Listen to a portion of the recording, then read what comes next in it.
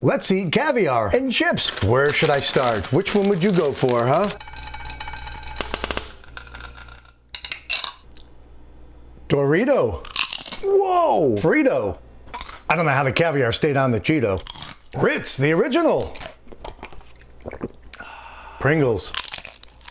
It's like a little ice cream cone for caviar. Love the bugles. Dill pickle Lay's. Funyun. I'm amazed the caviar stayed on this. So tiny and cute, little Cheez-Its. Cheddar and sour cream ruffle. Gotta keep the palate cleansed. Loco Roller. Look at the cute little goldfish. I've made it to the sweets. Nutter Butter Bites. Caviar and peanut butter. Whoa. It's the Oreo Mini.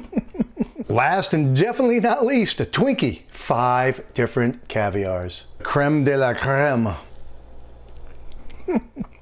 so good. Sweet and salty. Yes!